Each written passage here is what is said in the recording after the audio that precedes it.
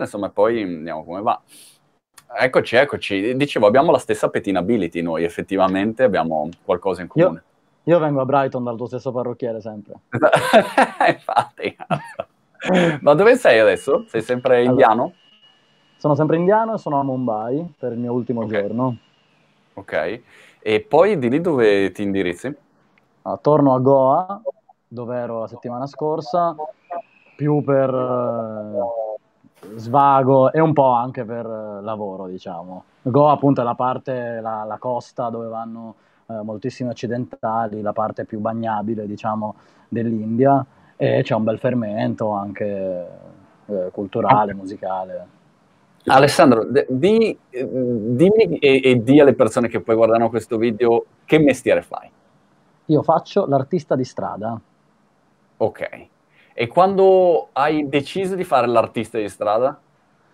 Allora, mm, mi sono ritrovato a farlo per gioco, come spesso accade anche ad altri colleghi, e poi ah. è stata proprio una scelta cosciente eh, nel settembre 2014 ho deciso che avrei fatto quello e da lì ho fatto diciamo, un piano di pre-produzione per iniziare a partire, poi marzo 2015, quindi festeggio adesso i 5 anni di attività, marzo 2015 okay. ho lasciato quel, quel, poco che avevo, in realtà ho lasciato l'Italia e ho iniziato a viaggiare a fare come unico mestiere l'artista di strada. Ma tu hai in un qualche modo studiato per fare l'artista di strada sempre che esista una scuola o hai fatto un percorso di, diverso? Che percorso hai fatto?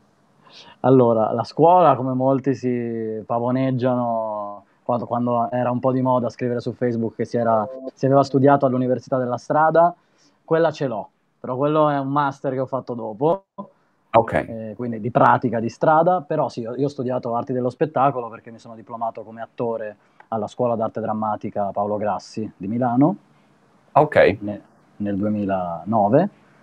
E diciamo che il mio percorso artistico mi ha sempre portato verso il mostrarmi, ecco. Mm. Ho, ho, fatto prima un percorso più, appunto, una volta finita l'accademia, anche durante l'accademia facevo un percorso, diciamo, standard da, da giovane attore, quindi tantissimi provini, tantissimi treni, tantissime porte in faccia, alcune porte che si aprivano anche molto interessanti. Ho lavorato in teatro, ho fatto cortometraggi, mediometraggi, documentari, piccoli doppiaggi. Sono arrivato anche ad avere una parte, per quanto piccola, in una serie tv su Mediaset. Ah, ok. Che serie era? Era una roba figa era, o una, sì, una merda? Era, eh, era Squadra Antimafia. Ah, wow, ok. No, insomma, mi sembra, adesso non seguo le, le, serie italiane, però sembra che sia insomma, da tanti anni. Eh, andava bene, andava bene. Però diciamo okay. che ecco, quello non era, non era, proprio il mio mondo. Non ti prendeva. E a quel punto cosa hai detto? Cioè, un giorno ti sei alzato e hai detto basta, eh, adesso faccio l'artista no. di strada, perché non è proprio la scelta più immediata no? che, che a uno verrebbe per me è stata molto immediata, però è stata mediata prima da un buon paio d'anni eh, di galleggiare. Io faccio parte di quella generazione, sono nato nell'87, faccio parte di quella generazione che tra i 20 e i 30 eh, galleggia, fai il lavoretto qui, il lavoretto lì, cerchi di seguire il tuo sogno, di formarti. Mm. Quindi scrivevo canzoni, avevo formato la band, appunto Gaps Orchestra, che è anche il nome che porto anche quando sono da solo eh, scrivevamo canzoni, suonicchiavamo e lì con il primo, il primo terzetto della Gaps Orchestra abbiamo iniziato a, a, viaggiare per strada. Molto semplicemente avevamo for- formato la band nel nostro comune dove ci siamo formati, che è la città dove sono cresciuto, che è Udine. In quello specifico momento c'era stata un'ordinanza per cui i locali non facevano suonare fin, eh, dopo le 10 di sera, quindi nessuno okay. voleva prendere una band a suonare noi avevamo proprio voglia, tanta voglia di suonare, non so a chi sia venuta l'idea, abbiamo detto, era il 2012, abbiamo detto vabbè prendiamo, andiamo, suoniamo per strada, quindi abbiamo ah. ru- cu- mezzo ru- non rubato, però insomma ci siamo impossessati di una multipla del padre del, del nostro chitarrista e siamo partiti alla volta della Liguria, Toscana, Campania, eh, per caso. E, e, sei partito così. Scusa lo starnuto che eh, spero che non sia trasmissibile il coronavirus da me a te e via, via dubito, Quando uno fa uno starnuto ti guardano come dire Eh? Hai fatto il tampone, cazzo, c'ho un raffreddore con, con i, i, figli a casa una settimana. Ma siete partiti eh, sapendo qualche cosa oppure no? Perché eh, immagino, l'altro giorno ero a Covent Garden e c'era una, um, un performer che faceva molto bravo peraltro, si liberava dalle camicie di forza, un po' un, un Udini simpatico, mettiamola così, un emolo di Udini simpatico, e, e, però la mia dolce metà mi diceva, cacchio, qua, questa zona qua, dove si sta esibendo, oltre ai tutti i permessi, costa anche, cioè è, è costoso avere quel pezzo lì di, di, di strada per performare.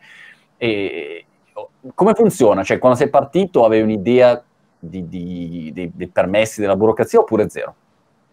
Non avevamo nessuna idea. A, a okay. monte non avevamo nemmeno idea dell'attrezzatura che ci serviva per suonare per strada. Mm. mm. Sembra, in realtà è ieri il 2012, però per quanto riguarda il mio lavoro, quindi quello del basker, dell'artista di strada, sono passate ere geologiche. Ah. Nel senso che eh, adesso il litio è in qualsiasi, per farla semplice, in qualsiasi amplificatore tantissimi amplificatori a batteria esistono che si autoalimentano, ne esistono dozzine. Quando abbiamo iniziato noi era molto complicato non solo comprarlo, era riuscire, la, la, cosa più complicata era capire che cosa dovevamo comprare per, per, poter avere elettricità su una strada senza ovviamente una presa di corrente. Quindi okay. abbiamo, sai, cerchi su internet come fare l'artista di strada, non c'era niente, zero, il deserto Mm. E quindi abbiamo avuto la magica idea di comprare un generatore a benzina che faceva un casino. esplodere da un punto all'altro. Completamente contro ogni regola, contro ogni norma ambientale. Insomma, noi arrivavamo, questo faceva casino, lo mettevamo più lontano possibile e noi alzavamo il volume a palla. E ok. Una volta fuso il primo mixer abbiamo capito che non era proprio la cosa migliore da fare, quindi siamo mm. passati alle batterie da tir quindi batteria 30 kg di batteria. Perché quella tiene, praticamente fa l'effetto di, di, un generatore e ti dà corrente. Assolutamente, però ah. era anche, eh, ho scoperto annissimi dopo aver portato per anni quel peso su un carrellino che in realtà era completamente inutile, ne bastava una da moto. Quindi... Ah, ok. ok. Ma e adesso no. è cambiato perché invece non hai più bisogno di questo, ma un amplificatore amplifica bene, non ha bisogno di, di tutta questa corrente in sostanza? Adesso diciamo che il litio praticamente ogni settimana le batterie al litio migliorano e quindi noi andiamo di pari passo con le batterie al litio perché usiamo okay. appunto, io ho una, una, batteria al litio un po' grossa che però pesa, capito, un chilo e mezzo che mi alimenta qualsiasi tipo di apparecchio io voglia, quindi ho una gamma okay. di scelta, posso scegliere il suono che più mi piace con l'amplificatore e poi dargli la batteria. La batteria dimmi, dimmi, che cosa, mh, mm, cosa suoni tu. Per strada hai delle preferenze o sei eclettico? No, sono anche quasi troppo eh, statico, se vogliamo, sul repertorio e sullo spettacolo. Allora, il mio spettacolo che si è formato insieme con i miei viaggi degli ultimi cinque anni si chiama Italian Music Around the World, quindi il giro del mondo con la musica italiana. Quindi io canto solo canzoni italiane, tendenzialmente molto famose all'estero, eh, il tutto condito tra una canzone e l'altra eh, con parti parlate in cui racconto o la storia della canzone oppure un pezzo di storia italiana. Diciamo che vado dal, dal romantico al politico, al sociale, al divertito. Ok. Ma adesso sei giri da solo? Perché all'inizio dicevi invece sei partito con, con la, tua, la, tua, band e adesso sei da solo o sei ancora in band? Allora, la band esiste anche se sono cambiati quasi tutti i membri okay. ed è un po' sparsa. Uno è in Sardegna e due sono a Bruxelles e io sono una trottola. Quindi facciamo diciamo due o tre festival all'anno insieme, dove suoniamo insieme. Altrimenti io per la maggior parte del mio tempo normale giro da solo anche perché nel momento, anche perché insomma questa dell'artista di strada è una scelta molto, molto personale e a me piaceva proprio l'idea di poter essere da solo artefice del mio destino, poter decidere quando, dove, come andare, come mm. suonare e anche ovviamente insomma per un fattore monetario, specialmente quando si inizia, non, non, non hai idea se neanche se riuscirai a sostentarti con questo mestiere, Chiaro. quindi Infatti, dividere questo... il cappello e questo Alessandro penso sia il problema principale. Cioè, fino a che non sono arrivato a Brighton, la mia idea dell'artista di strada era ecco, uno, cioè, che è, è, un barbone che suona, ecco, questa era la mia idea. Quando sono arrivato io, almeno sa suonare. Almeno sa suonare, ecco. Invece quando sono arrivato qua che ho visto un sacco di gente, peraltro bravissima, ehm, per formare varie cose, insomma, dalla musica, recitazione, acrobazie, eccetera, invece è un mestiere, no? E quindi eh, dici, ah, caspita, no, no, aspetta, dietro ci deve essere una sostenibilità economica, perché li vedo sempre e sono sempre gli stessi che, che girano. E quindi mh, mm, mi, ha, mi, ha, colpito questo, però eh, spiegaci un pochino come funziona. Certo, tu sei eh, proprio nel, nella patria, insomma, tutto il Regno Unito e l'Irlanda è un posto in cui il basker, l'artista di strada, è un mestiere e tutti lo sanno, è socialmente riconosciuto eh, in Italia si stanno evolvendo molto in realtà le cose, è sempre più mm. riconosciuto. Io molto spesso la gente mi lascia una moneta e mi dice buon lavoro. E io quello, quando mi dici buon lavoro, io sto capendo che tu mi vuoi far capire, io lo so che tu stai lavorando. Che e... sai, certo. Io devo dire che è cambiato molto eh, negli mm. ultimi anni, e anche probabilmente grazie alla spinta dei social. Trovo che specialmente nell'ultimo anno, anno e mezzo, stia di, proprio impazzando la moda del basking ah. è diventato moda. E l'aspetto economico funziona, funziona esattamente come, come, lo vede, come, lo vede, il pubblico. Noi, insomma, nessuno, che, nessun comune ci paga, non abbiamo nessun'altra forma di sostentamento se non ovviamente il nostro cappello. Quindi c'è. Eh, all'offer- all'offerta della gente, diciamo che si cerca di fare uno spettacolo il più, ovviamente dipende dalle giornate, eh, il più mirabolante il più mirabolante possibile. E poi è, un, è, sempre un grande punto interrogativo, cioè tu arrivi e c'hai il giorno in cui suoni davanti a 5, 10, 20 persone e poi magari arriva la bomba e hai 200 persone intorno, il giorno in cui monti e le persone ti stanno già aspettando quasi. È molto aleatorio, come dicono in Spagna. Però ehm, fai una delle cose per me più difficili in assoluto, che è intrattenere delle persone sconosciute che spesso non ti conoscono, cioè nella maggior parte dei casi non ti conoscono se vai in posti, in, in posti nuovi, non sono lì per te, quindi di default parli a persone diffidenti, ecco, in generale. Eh, magari sono prevenuti e tu devi non solo convincerli a ascoltarti o a guardarti, ma in più devi anche avere diciamo, un conversion rate e una percentuale di queste devi anche mettere due lire per, per sostentarti. No? Quindi è molto complesso, non so come, come, sia fattibile. Che cosa stai imparando in questi anni di, di esperienza? Per, innanzitutto per coinvolgere le persone, cos'è che, che, aggancia le persone secondo te? Guarda, mi sono inventato di tutto. Eh, sono, diciamo appunto, io adesso suono questo, piccolo, io lo chiamo un soft one man band, quindi okay. un uomo orchestra. Ove però il classico uomo orchestra per intenderci, ne so, quello di Mary Poppins che ha la, la, cassa sulla schiena e tutto quello, io non ce l'ho.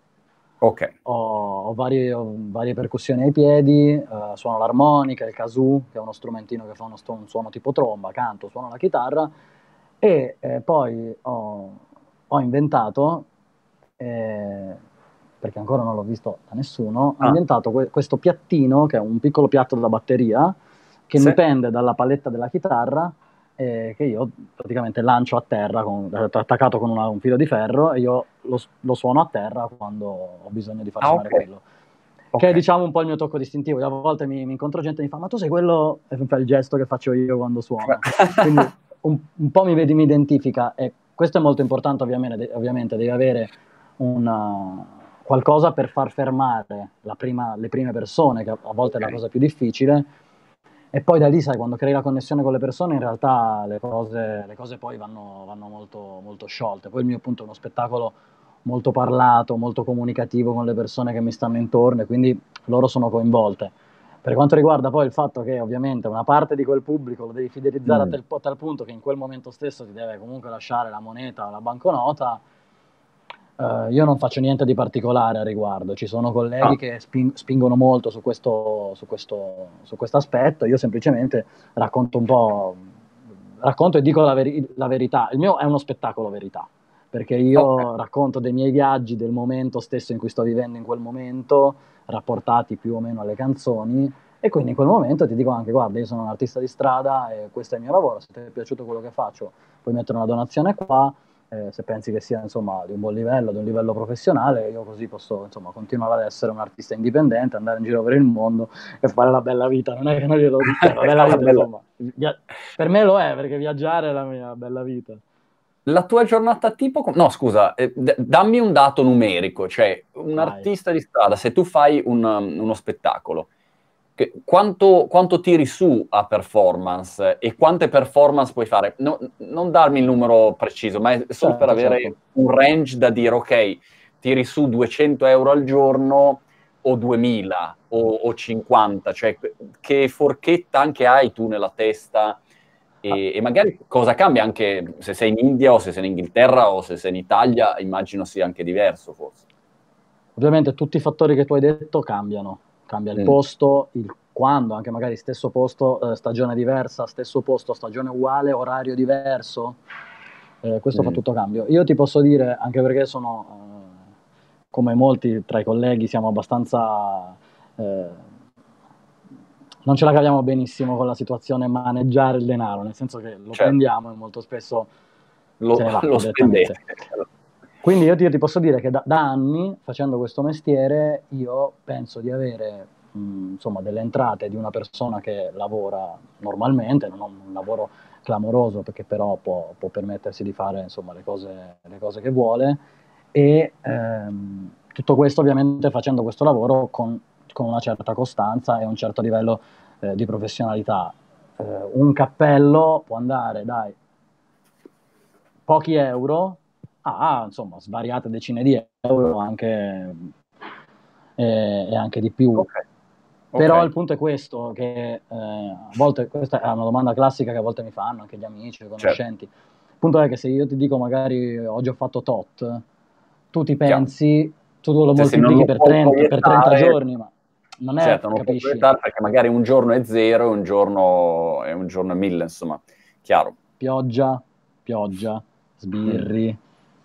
Altri colleghi, ci sono una marea di cose che possono i- i- i- eh, insomma, intromettersi fra te e il successo della giornata. Ecco. Scusami, eh, pioggia ok, mi è chiaro perché se, se piove, Mm. oddio, magari se tu performi uguale a quel punto la gente è lì più intenerita, non so, però L'ho fatto ovviamente. invece sbirri, però scusami, sbirri, eh, tu chiedi le varie autorizzazioni, come funziona se tu vuoi, esci oggi e vuoi performare, come funziona? Monti, eh, allora, di base ogni comune di tutte le parti del mondo, ogni comune ha le sue regole. Ok, Ehm, a volte addirittura parliamo di città grandi, eh, tu devi appoggiarti al sottocomune della città grande per, per- per conoscere le regole. Ti faccio un esempio, dato che sono qua adesso Sì. a Mumbai, Sì. eh, sono venuto qua due settimane fa, mi sono messo, nel, vedo un po' in giro, guardo questo spot bellissimo davanti al mare, le palme dietro, una bella una piazzetta Mm. un po' larga che è anche merce rara in India. E, insomma, mi gaso, dico perfetto, monto tutto, suono, arriva un primo security e mi dice, eh, non puoi, però non era un poliziotto, mi fa, non puoi suonare, Ah. dico guarda dai, tranquillo, dieci minuti, inizio a suonare tre canzoni, eh, arriva la polizia, mi, mi chiede eh, hai il permesso e dico no, no, tu non, non puoi suonare qua senza un permesso, dove lo prendo, qua, bla bla bla. Eh, qua- e lì mi hanno fermato, ma in generale, Ah. parlando adesso del mio mercato più, quello che frequento di più, che, che ovviamente è l'Europa, le città cadono così, cioè le, le- le legislazioni stanno cambiando molto e spesso cambiano a nostro sfavore, non ci impediscono, di, ci impediscono di suonare, ci impediscono di suonare specialmente amplificati, ok. questa è una discriminante molto importante. Un artista di strada tendenzialmente quelli. Poi ci sono spettacoli meravigliosi e bravissimi di gente, di gente bravissima che lo fa in acustico, ok. però tendenzialmente uno spettacolo di strada di un certo livello richiede un amplificatore Mm. e eh, molto spesso le legislazioni negli ultimi anni ci stanno penalizzando moltissimo. Quindi eh, il rapporto insomma, con la polizia arriva nel momento in cui eh, lo fai anche illegale, perché insomma parliamoci chiaro, questo comunque è un mestiere pirata, è nato come Ok. mestiere pirata e ci morirà e li seppelliremo tutti comunque, se loro, loro ci proveranno a fermare, però non ce la faranno perché... Però, però ti dico, qua a Brighton sono, cioè, quelli con cui ho anche chiacchierato sono tutti super in regola col tesserino, non so che cazzo c'hanno, tutte le robe, i loro slot. Eh, no, bellissimo. Io sono per la, per, per la, legislazione e per i permessi, assolutamente bellissimo, io non chiedo altro di poter avere un permesso e tu mi dici, tu puoi suonare qua, io ci suono e sono tranquillo. Chiaro. Ora, dalla Manica in poi, in su, è un'isola felice. Ok. Riguardo a quello, perché è proprio, non, non esiste in Inghilterra, in tutto il Regno Unito, che ti fermino perché stai suonando. Giusto Londra ha stretto alcune cose, come giustamente citavi tu, Covent certo. Garden, che è un posto particolare, però se vai semplicemente anche solo a Leicester Square o Trafalgar Square, tu ti metti là, fai la tua coda, segni il tuo nome in una carpetta che c'è scritta là e suoni, aspetti e ah, suoni. Ok. okay. E Quindi... in Italia invece la situazione com'è? Allora, ancora... non era no, la domanda Io giusta. intanto vorrei... No, no, assolutamente, io vorrei sfatare un mito che eh, mi sono autosfatato in realtà anch'io perché eh, da anni pratico questo mestiere prevalentemente all'estero, ovviamente faccio sempre qualche mesetto in Italia, ci suono ed è un piacere, però in realtà eh, l'Italia è molto ben messa riguardo all'arte di strada. Ora, ah. lasciando i sing- perdere i singoli casi, che ci sono una, una marea di città in cui appunto che stanno cadendo, eh, come ad esempio problemi a Roma, problemi a Bologna, problemi a Firenze, però eh, l'Italia ha questa cosa che ancora io non ho incontrato in nessun paese, dell'essere insomma un, eh, uno Stato con città, cittadine, paesini tanti, uno presso all'altro, in cui comunque c'è una, una, qualche forma di turismo e molto spesso è di stampo culturale. E, e molto spesso questi, queste cittadine, non essendo ancora probabilmente state toccate eh, dal grande basking di massa, dai grandi, dai grandi spettacoli in continuazione, hanno delle legislazioni che ti consentono di suonare. È chiaro che se tu suoni in una città di capito, 100.000 abitanti, non è che dici mi faccio un mese e suono lì tutti i giorni perché al quarto chiaro. giorno le persone ti hanno visto tutti. Chiaro, Però chiaro. l'Italia è un paese a cui a volte altri colleghi eh, proprio aspirano, mi dicono ah, ma voi in Italia sì che avete la cultura dell'arte di strada. Vabbè, wow. me lo segno. Ma scusa, ma se tu vuoi andare, non so, a Milano, in Piazza Duomo, eh, dove c'è sempre qualcuno che performa, hai anche lì vai, ti, ti segni in fila, devi chiedere un permesso, devi pagare uno spazio, come funziona? tendenzialmente parliamo sempre, tutte queste, queste situazioni sono gratuite. Milano ah. nella fattispecie funziona tramite una piattaforma online. Milano ovviamente fu all'avanguardia in questo, ormai la, sono forse dieci anni che c'è la piattaforma, un po' meno, Vabbè.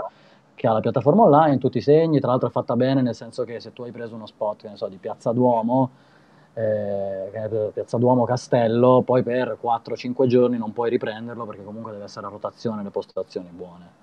Certo. E... Anche perché se no uno occupa sempre le migliori postazioni negli orari migliori e gli altri si incazzano. Insomma. Esattamente. Quindi Milano per esempio è così, e poi ci sono città insomma più selvagge, ad esempio Roma è una città abbastanza selvaggia per quanto ah, riguarda okay. di strada, per quanto ci siano dei permessi. E il rapporto con gli altri artisti di strada com'è? Allora, eh, come in tutti i mestieri ci sono gli stronzi.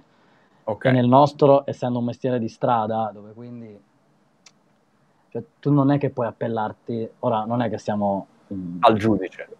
Esatto, non è che siamo proprio criminali, ok? Però comunque quello che io penso è che eh, cioè noi lavoriamo per strada, quindi il nostro campo di lavoro lo condividiamo comunque con mendicanti, criminali, eh, prostitute, venditori ambulanti, artisti di strada e noi ne facciamo parte ed è un microclima che io adoro, eh. è bellissimo. Okay. Quindi diciamo le questioni vanno risolte molto internamente, quindi quando c'è il prepotente di turno si fa forte del fatto che mh, mm, non c'è veramente una legge che possa dirimere le nostre questioni.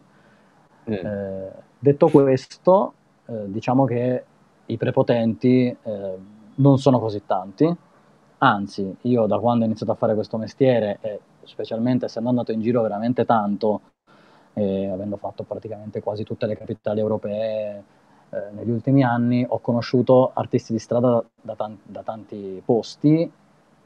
E, quando mi ritrovo con alcuni di loro, che in realtà non sono neanche pochi, è festa, è veramente come se fosse una seconda, una seconda famiglia. In più mh, a volte ti ritrovi in dei festival di artisti di strada e quindi capito l'amico di Copenaghen incontra l'amico spagnolo tramite okay. te e diventiamo tutti e tre amici e proprio sono famiglie allargate, cioè noi ci chiamiamo, ci diamo consigli, certo. consigli nerd che neanche te lo dico anche perché cioè, condividete comunque le stesse problematiche, cioè, quindi siete sulla stessa lunghezza d'onda, fate lo stesso mestiere, però io un po' di paura ce l'avrei. Ecco, io non potrei mai fare il tuo mestiere. Cioè, avrei paura de- della politica. Cioè, ho paura quando la preside della scuola di mio figlio di sei anni mi guarda come dire, dico, cazzo, adesso mi interroga.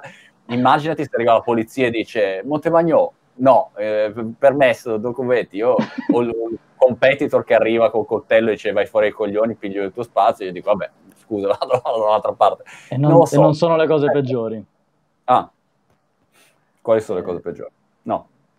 Sì, nella mia esperienza, eh, tu, tu sei, sei, sei, lì in mezzo alla strada, appunto alla, alla mercé di varie cose che ti, che ti succedono intorno e spesso le, le cose peggiori sono persone eh, violente o alterate, spesso eh, semi, eh, semi vagabondi alcolizzati molto spesso, okay. che ci, ci, disturbano in maniera a volte anche fisica.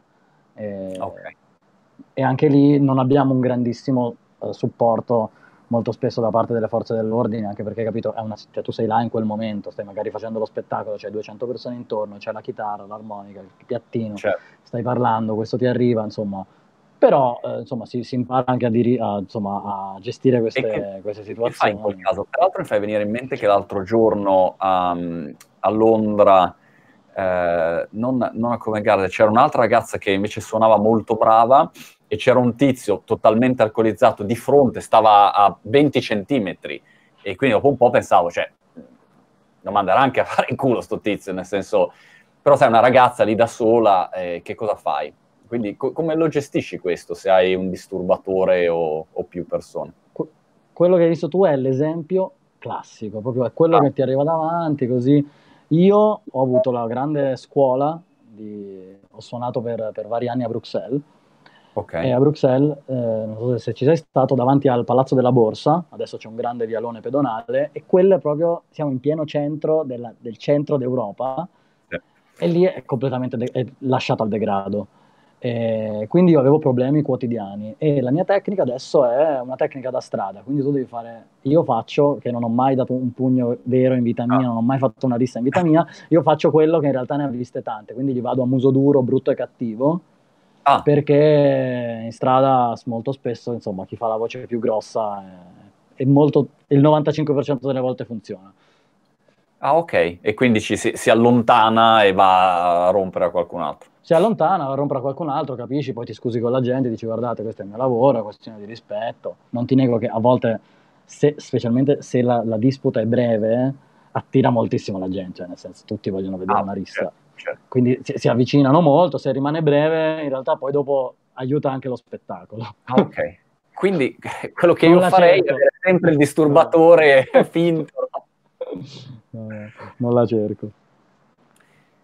E ehm, da questo punto di vista, nella tua, nella tua esperienza, che cosa alla fine finisce per eh, funzionare di più o funzionare di meno in uno spettacolo? Cioè, ti faccio un esempio, se io organizzo un evento o faccio, eh, so, uno speech, un monologo dei miei in giro, ogni volta finisco e dico, ah ok, questa parte qua non ha funzionato bene, uh, qui ho sbagliato, questa interazione col pubblico mh, mm, potevo gestirla diversamente, il disturbatore uh, ha funzionato, il modo in cui ho ribattuto, ma ho sbagliato su questo, no? ho tutta una mia lista di cose sempre da migliorare.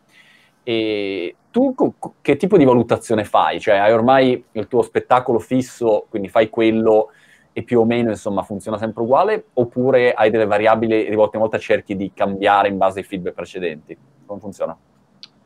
Allora, io direi che lo spettacolo a cui sono arrivato adesso è sicuramente una somma di tutti gli errori e le cose buone che ho fatto negli ultimi anni. E scusami, Ale, scusale, e qu- quanto dura? Dai 45 minuti all'ora. Wow! Ok, sì. quindi è, è, uno spettacolone, non sì. è facile fare un'ora di, di, materiale, tanta roba, insomma. Ok. Sì, sì. Okay. Cioè, ne, ho, ne, ho, ne, ho, anche di più, ovviamente. Suonando all'estero ho questa situazione del, del repertorio un po' corto, in realtà, perché insomma mi cervello a trovare canzoni italiane famose all'estero, che okay. comunque almeno la gente abbia conosciuto, e quindi il repertorio mi rimane un po' stretto. Questo repertorio, appunto, eh, collegandomi a quello che mi hai chiesto, l'ho eh, eh, affinato durante anni in cui ho provato varie canzoni, varie, varie canzoni e vari monologhetti e più o meno ho capito quello che funzionava più, quello che funzionava meno. Quello che in realtà funziona sempre, eh, però non, è, non riesco sempre a riprodurlo ancora, è lo stare veramente eh, nel momento in cui stai, parlare possibilmente del viaggio che stai facendo nel posto in cui sei, con dei riferimenti uh, ai paesi, alle città che hai visto magari in quel paese, questo lega molto e fa legare molto la gente. E poi in realtà io mi ispiro molto anche ai fatti di cronaca tendenzialmente sociale e politica, perché io uh, comunque nasco come sono ancora un cantautore, quindi per me il messaggio sociale è molto importante. E, quindi a, a, seconda anche delle notizie, per farti un esempio, quando fu eh, di, di, tutta la situazione, Carola Rachete, migranti, Salvini e tutto quello, io all'epoca ero a Copenaghen e quindi insomma mi facevo, mi facevo megafono per, per, raccontare anche cosa, le cose che stavano succedendo, che magari capito, il danese non sa esattamente cosa sta succedendo, quindi io racconto la storia di quello che sta succedendo e do la, poi, la mia opinione personale, pulita ed educata, ma mia. Ecco. Come, questo, come, ris- sì. come rispetto eh, nei tuoi confronti quando, quando, sei a performare per strada, come, come la vivi? Perché spesso, no, soprattutto nei paesi con giudizio, e annovero l'Italia ovviamente tra questi paesi, quando vedi un artista di strada no, c'è un giudizio no, un po' come dire, di, di, di seconda classe, no? Eh, c'è l'artista vero e poi se fosse vero non sarebbe in strada, no? Questo è un po' il, pregiudizio. Co- come lo vivi questo? E peraltro, cioè, io ho visto, non so, il documentario di Petit, il funambolo meraviglioso, artista di strada per una vita, no? Ha performato in qualunque situazione. Allora, eh, i primi anni la vivevo con molto con astio questa situazione, perché okay. vedevo quando succedeva, eh, non sempre. Mi ricordo ad esempio una bambina italiana che stava passeggiando per Bruxelles con la sua famiglia, stava suonando una collega, non io, passa davanti e gli fa papà ma lei suona per strada perché è povera? Questo è wow. il, quello che tanta, che tanta gente pensa, ti dirò, ci sta, cioè io, come ti ho detto prima, a, ecco, adesso non ho più astio nei confronti di questa cosa perché non mi, non mi fa più incazzare, sinceramente, che, la, che alcune delle persone mi guardino dall'alto in basso, pensino che, come dici tu, giustamente sia un barbone che magari... Ma quando mi chiedono, ma stasera dove vai a dormire? Guarda, certo. ho l'ostello, oppure ho la stanza, eh, cioè non ho mai dormito sotto un ponte, capito? Cioè, se l'ho fatto l'ho scelto, ma perché lo volevo fare. Non, non... Però, eh... però, c'è questa cosa nella testa. Infatti, anch'io, se, se tu mi dicessi delle persone che magari vedo in giro, poi dico, boh, sì, dove dormirà quello che ho visto lì a Covent Garden l'altro giorno? Peraltro stavo pensando che ha fatto un ottimo spettacolo, cioè io che analizzo, mi piace la comunicazione, ah, a parte che aveva due o tre uh, parti di ingaggio col pubblico molto carine, che, che replicherò uguale per i miei eventi, no? nel senso che poi eh, inevitabilmente la strada ti dà quella no, quello sgamo che, che non hai in, in, un contesto più tradizionale, perché uh, devi, devi, riuscire a cogliere l'attenzione. Però ugualmente, se, se, ci penso, probabilmente anch'io direi, bah, poverino, chissà dove va a dormire. Non so perché c'è questo, questo tipo di, di pregiudizio. Sì, e ti dirò, io come ho detto prima, questo è un lavoro pirata e quindi che la gente non capisca tutto, non sappia tutto, per me fa anche parte del gioco e in qualche okay. modo comunque mi affascina. Poi quando capita di parlare anche insomma, appena più approfonditamente con le persone, mi, mi piace appunto fa, far schiudere questo mondo alle persone che magari non, non lo conoscono e far, far, vedere appunto che c'è, della, c'è molta normalità. Ecco. in realtà. Dimmi la tua giornata tipo, che poi non sarà mai una giornata tipo, però una giornata quasi tipo, qual è? Arrivi appunto, non so, in, okay. in India. Che fai? Allora, faccia, facciamo che arrivo in Europa, perché poi se poi dell'India ti, ti, parlo perché è un attimo diverso. Ok. Eh, che ne so, arrivo a una città in cui sono già stato, per esempio, Copenaghen. Sì. Ok, so già. Anzi, mettiamo arrivo a Copenaghen la prima volta, più interessante. Mm. Da zero, sei lì e dici adesso che faccio? Tanto arrivo con chitarra sulla spalla e valigione. Ok. Arrivo e vado in ostello, che magari ho tendenzialmente prenotato prima, lascio le mie cose, prendo tutta l'attrezzatura e vado a fare un giro a capire dove si suonerà. Vuol dire quel giorno fatica totale, perché la valigia pesa 20-25 kg più la chitarra sulla schiena, San Pietrini, okay. insomma, vuol dire andare in giro per la città a capire dove sono gli spot, magari incontri un altro artista di strada, gli chiedi se hai fortuna, quello è gentile, ti dice guarda, si suona qua, qua e qua, lì è meglio che non ci suoni perché, perché ah. una volta capito ed entrato nella routine, la giornata tipo dipende completamente dalla stagione e da dove sei. Perché se sono d'inverno, d'autunno, anche mezza primavera, io posso uscire la mattina, specialmente se sono in una capitale europea, già iniziare a suonare. O se non è che esco di casa e vado tranquillamente a suonare. La, la, versione più probabile della giornata è che io esco di casa, vado sullo spot e aspetto. Ah. C'è qualcuno sicuramente che sta già suonando e mi aspetto le mie 1, 2, 3, 4 ore. Dipende. Ma aspetti, ma in un qualche modo gli puoi dire scusa, ma quando è che finisci? Ah, sì, c'è, sì, sì. c'è una, un, un, dialogo magari, da questo punto di vista. Esatto, magari sono arrivato, l'esempio di prima, a Copenaghen, sono arrivato nella piazza di Copenaghen, ci sono già quattro artisti in fila, quindi io suonerò, sarò il quinto. Mi piazzo là, aspetto, fai due chiacchiere, bevi un caffè, fai altre due chiacchiere, leggi. Ok, e lì avrai una roba che compili, un foglietto che compili qualche cosa o... o Molto no. spesso è semplicemente la tua presenza gari, ga, fa da garante, però no, non te ne vai. Cioè non è che sei arrivato, ci sono... No, aspetti là. Al che ah, suoni, okay. un'ora, due ore, dipende dalla situazione. Eh, magari mi ca- cambio spot dopo per il pomeriggio, vado a suonare da un'altra parte, quindi alla fine del giorno magari ho suonato due, tre, due, tre ore, però nel mezzo in realtà cioè non è che hai lavorato due ore, sei stato Chiaro. attivo e sul pezzo per molte più ore. E poi insomma la giornata è finita, probabilmente torno in ostello, lascio le cose in ostello, vado a mangiare, faccio le 5 di mattina. Fa... Questo è il tuo standard. Non mi ricordo quando ho fatto il mattina, credo fosse il 1900, non so, 97, non so, una roba così. Sì. Ok, chiaro. Mm. Ma nelle mie immense paure e paranoie c'è anche quella um, di essere derubato.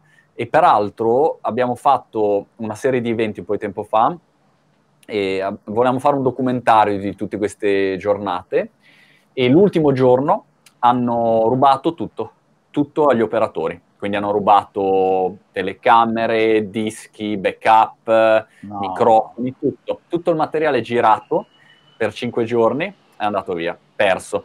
E a parte insomma che uno dovrebbe sempre, secondo me, backuppare sette volte ovunque, tenerlo nelle mutande, però diciamo la sfiga eh, capita, ecco, cosa succede se ti ciulano la roba o magari sei lì, lasci in ostello e poi non te la ritrovi più? O che, co- come ti muovi tu per la tua sicurezza del materiale? Che, che poi quello, che se non ce l'hai non puoi lavorare, quindi è fondamentale.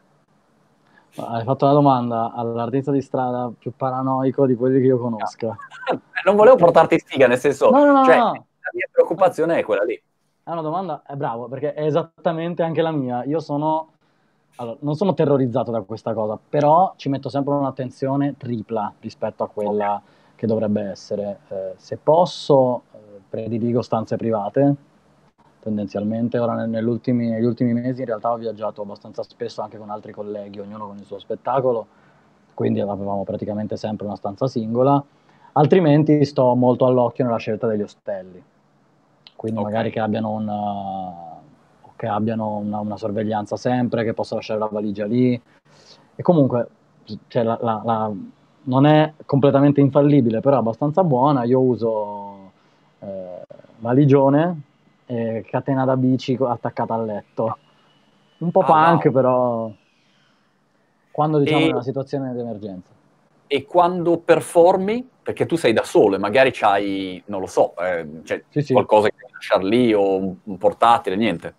No, guarda, io ho, non è qua, ho un borsello così che sì. non, posso stac- non, posso staccare dalla mia vita, dalla mia della okay. cinta della... Che, lì ci sono le cose piccole ma importanti, passaporto, soldi. Eh?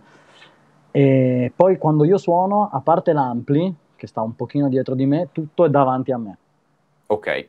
Io non ho niente okay. in vista dietro, cosa okay, che invece okay. molti colleghi fanno, li vedo lasciare gli zaini, gli iPad così tranquilli, dico ragazzi, guardate, ci siamo in strada. Chiaro, chiaro, eh, chiaro, chiaro. Quindi, diciamo, in strada è tutto molto controllato l'amplificatore chiaramente se uno se lo stacca te ne accorgi subito perché non lo ecco. Quindi questo mi sembra un ottimo segnale. Anch'io lo, lo sì. utilizzerei. Qual è la cosa peggiore che ti è mai capitata e qual è la migliore che ti è mai capitata? Avevo questa curiosità. Allora, ma eh, allora, io praticamente da anni vivo questa vita come un viaggio continuo, ok? E e secondo me quando tu vivi un viaggio continuo ci sono, ci sono sempre dei punti bassi in cui le cose non ti funzionano e non sta andando bene, certo. però successivamente a quel punto basso, sempre, specialmente perché tu lo continui all'infinito, sempre da quel punto basso arriva qualcosa che ti riscatta per dieci volte.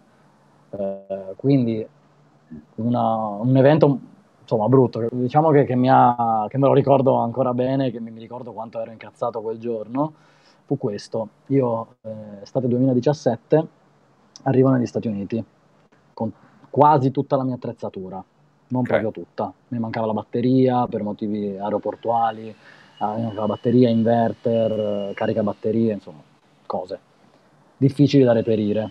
Per cinque ah. giorni giro in tutta Manhattan per trovare le cose che mi servono molto molto complicato. Trovo alcune delle cose. Finalmente il quinto giorno di New York ho tutto.